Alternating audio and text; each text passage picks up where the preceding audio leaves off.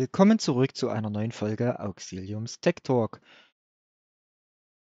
Heute geht es wieder mal um das Thema Red Pill und den AAPL-Loader. Ich möchte euch im ersten Schritt zeigen, wie ihr ein bestehendes DSM updatet. Einmal auf VM, also als virtuelle Maschine, und einmal als Bare Metal, also direkt nativ installiert. Des Weiteren habe ich noch einen Hinweis für euch. Bei mir auf der Internetseite unter dem Redpill bekommt ihr eine kurze Übersicht, was ihr einstellen müsst, welche Versionen aktuell sind, Download-Link und halt äh, Changelog, also Patch Notes, was geändert wurde an den letzten Versionen. Die zwei aktuellen Stable, die 0.53, die ist gerade eben fertig geworden, deswegen mache ich jetzt das Video. Und dann könnt ihr auf ältere Versionen, könnt ihr dann hier auswählen und noch reinschauen. Ja, also fangen wir mal mit der VM an. Ich habe mir dazu wieder mal meine Test-VM. Die ist jetzt aktuell ausgeschalten, weil die äh, ist schon installiert. Aber ich glaube, das mit der Installation, das muss ich euch dann nicht zeigen. Diesen Drücker da, dass er automatisch von Synology sich das DSM lädt und dann installieren. Ich glaube, das kriegt jeder hin. Also holen wir uns mal den aktuellen ARPL bei mir am GitHub. Geht auch hier über den Download-Link. Releases 0.53. Ich hole mir die IMG gleich und die VMDK. Ich nehme beide mit. Die VMDK natürlich für die virtuelle Maschine, die IMG für den USB-Stick dann. So, packen wir den Spaß mal.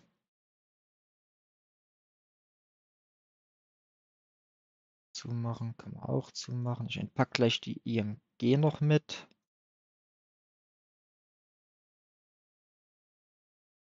Und für die, die es nicht wissen, nach dem Update habt ihr Zugriff auf eure Daten wieder. Also ihr könnt den Loader updaten, ohne dass ihr eure Daten verliert. Der Loader hat nämlich eine neue Besonderheit, das zeige ich euch aber gleich. So, ich kopiere mir jetzt bloß fix den neuen Loader bei mir in, also hier ist die APL VMDK. Hier wir jetzt den neuen Loader fix rein, das ist die 52er. Die VMDK bleibt gleich, ich kopiere mir jetzt bloß die Flat rein weil die enthält die Daten.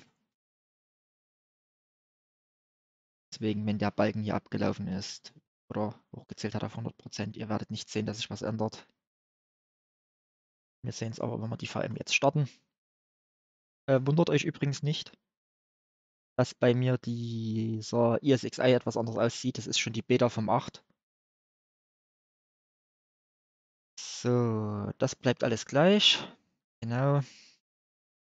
103 10.0.103 Doppelpunkt 7681. Wir können es jetzt über diese Webkonsole installieren. Und wir können es, wenn ich jetzt hier im Terminal AIO.sh mache, bekommen wir es genauso. Hier bekommen wir jetzt direkt den AIO-Loader angezeigt in der Konsole. Über die Webkonsole könnt ihr euch raussuchen, ob ihr das AIO-Menü oder das Classic-Build-Menü haben wollt.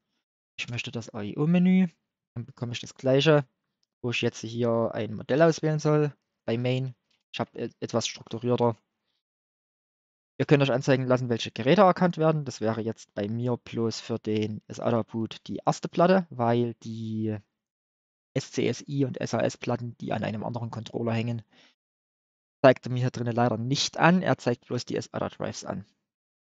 Dann des Weiteren können wir noch die Module auswählen. Zeige ich euch dann gleich. So. Ich habe, wenn ich jetzt hier ein Modell auswähle, das DS3622XS Plus als SATA und als SCSI, das ist die definitiv stabile Konfiguration, wo auch die Synology-Dienste funktionieren. Die anderen hier unten, die ich jetzt eingefügt habe. Ich habe sie selbst noch nicht getestet. Es müsste funktionieren, aber deswegen steht Beta dahinter. Die sind noch zum Testen. Das werde ich jetzt am Wochenende tun. Sind aber erstmal mit Vorsicht zu genießen. Dadurch, dass ich bloß eine Festplatte erkannt habe und somit weiß ich, die sind nicht auf SATA, sondern die hängen bei mir auf dem SCSI SAS, also SCSI-Controller ist es jetzt in dem Fall bei mir, wähle ich die Option ES3622XS Plus SCSI SAS. So, dann sucht er jetzt ganz kurz, wie viele MAC-Adressen da sind. War jetzt bloß eine. Deswegen hat er mir jetzt auch bloß eine MAC-Adresse geschrieben. Das macht er alles automatisch, da habt ihr nichts zu tun. Genauso dann beim USB-Stick.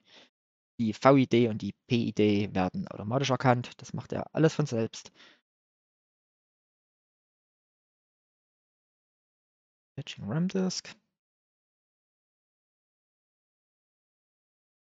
So, wechselt er auf Exit. Das stimmt. Und dann haben wir, ah, okay, da müssen wir hoch auf Bootloader. Und Feuer. Weil, ne, ich zeige euch erst noch, liest er die Module ein. Jetzt zeigt er an, dass er alle Module geladen hat. Kann er tun. Ihr könnt auch sagen, alle abwählen und dann bei Module auswählen, nur welche ihr haben wollt. Ich nehme jetzt einfach alle mit.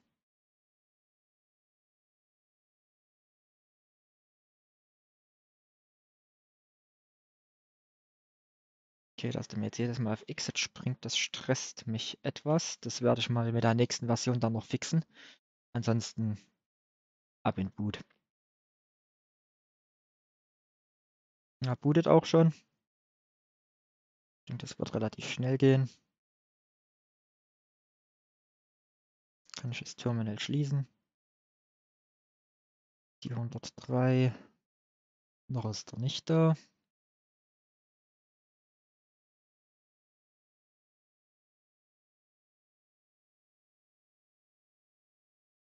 Hm, zieht sich.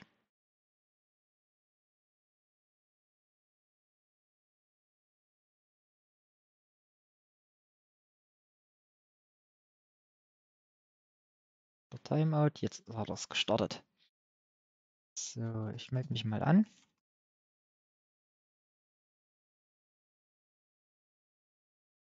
Das sehen wir im Infosender. Seriennummer, die aktuelle Version hatte ich ja eh schon installiert, das ist aber egal. Netzwerk, eine Netzwer ein Netzwerkcontroller da und halt auch gleich die MAC-Adresse gesetzt. Soweit, so gut, das passt alles. Dann werde ich die VM gleich wieder herunterfahren, weil die brauchen wir nicht mehr. Parallel dazu melde ich mich aber auf dem NAS aus der Wir bauen ein NAS-Reihe an. Das ist das, wo ich einen Teil meiner Produktivdaten liegen habe. Dieses werde ich jetzt auch herunterfahren.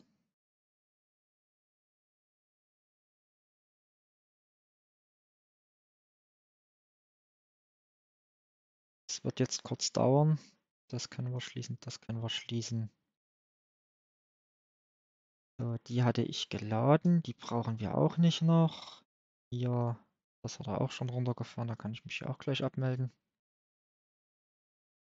Ja, der ISXi 8, der wird ganz lustig. Ich muss sagen, ich habe einige Performance-Verbesserungen festgestellt, ich habe aber auch noch einige Probleme festgestellt. Ich habe einen ewig langen Bug-Report an VMware geschickt. Ich hoffe, da wird noch ein bisschen was gefixt. Jetzt schauen wir mal, ob mein NOS schon runtergefahren ist. Ja, ist es mit den USB-Stick gerade abgezogen. USB-Stick steckt jetzt am PC. Dann werden wir jetzt mal in den Downloads, ihr seht, ich habe die letzten Tage relativ viel mich mit dem ganzen Spaß beschäftigt, was den ARPL angeht. So, es ist ein ARPL-Stick, seht ihr. Ich werde da jetzt das Update auf die 5.3 raufschmeißen. Start. Start. Und Start. Lassen wir ihn fix die neuen Daten schreiben vom IMG. Wenn er hier oben MBR und BIOS bzw. UEFI CSM anzeigt, macht euch keine Gedanken, es funktioniert trotzdem, auch UEFI funktioniert. Ich würde sogar UEFI bevorzugen. Läuft auf jeden Fall stabiler, zwecks der Module, die, insta also die mit installiert werden, die sind eigentlich für UEFI ausgelegt.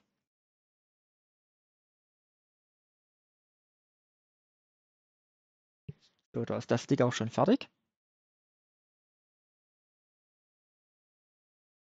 Dann schließen wir das. Steck den Stick jetzt wieder am NAS an.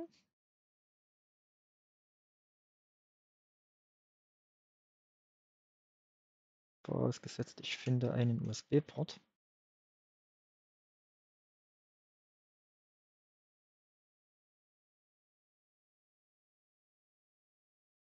Steckt.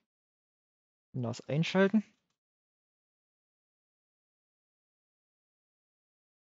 Dann brauche ich aber mal. Ach, der hat auch wieder ein Update. Schön. Brauche ich mal den DHCP-Client. Der wird mir jetzt 100 Pro gleich irgendeine Adresse ausspucken, die mir nicht gefällt. Oder die ich nicht im Kopf habe.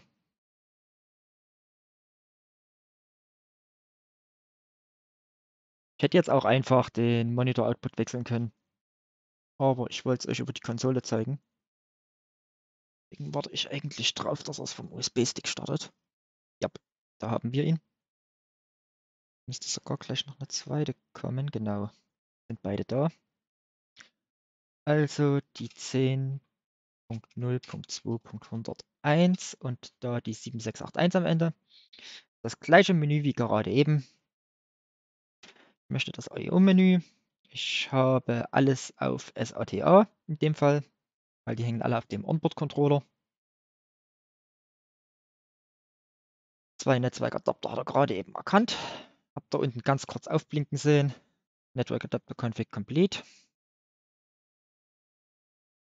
Schreibt jetzt ein paar Daten noch. Holt er sich die aktuelle PAD-Datei, um den Bootloader zu erstellen.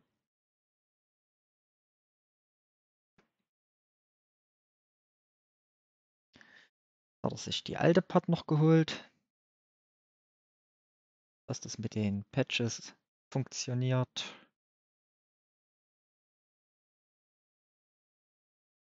Dem. So. RAM-Disk wird auch schon gepatcht. Ready. Sehr schön. Hier ist Exit okay, hier ist Exit nicht gut. Hier brauchen wir Bootloader. Hier kann ich euch zeigen, bei Show Drives 5, 6, 7, 8 sind belegt, die sind grün. Hier hängen meine Platten auf dem ganz normalen Onboard SATA. So, gut. Loading DSM-Kernel. Ich habe es jetzt bloß auf USB 2 stecken. Das dauert jetzt etwas. Hier, wenn ihr mal, ihr seht die Maus, NetIF Num 2, Mac 1, Mac 2, der hat auch beide Macs eingetragen. Die VID und die PID müsste auch irgendwo stehen, die PID, PID. Hat er automatisch ausgelesen. Soweit passt alles. Das dauert jetzt ein Stück, weil er erstellt jetzt erst den Kernel dann zum Booten. Und er sagt mir halt auch with EFI, also EFI ist gestartet. Stimmt auch soweit.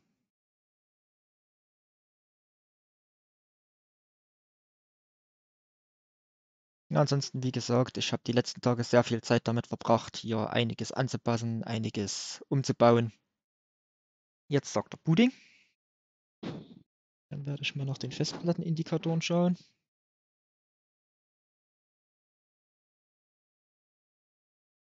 Ja, sieht so aus, als ob er was macht.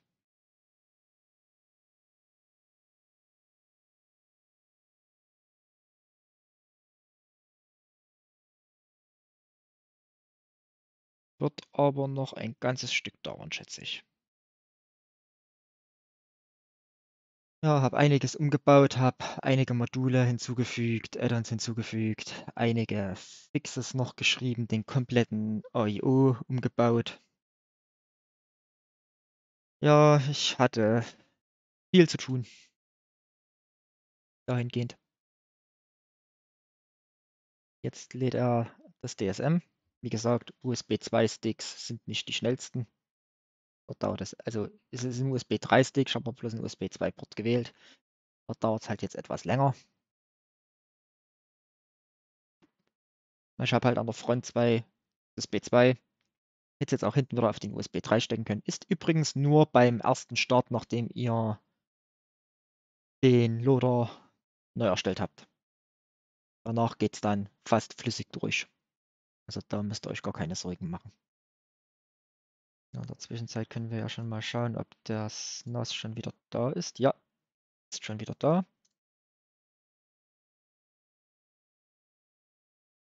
So, Infosender. Angemeldet bin ich noch. Das passt, das passt, das passt. Netzwerk 2,5G, 1G passt auch. Statischen IPs hat auch übernommen. Und Datenverlust leite ich demnach dann auch nicht. Mein SSD-Cache auch noch da. Somit würde ich mal sagen, Update erfolgreich. Ich hoffe, dieses Video hat euch geholfen und wir sehen uns dann oder hören uns dann beim nächsten Mal.